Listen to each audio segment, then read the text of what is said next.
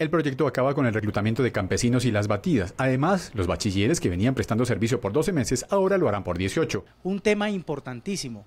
Ya le pagarán hasta 500 mil pesos, el 70% de un salario mínimo a las personas que quieran prestar el servicio militar.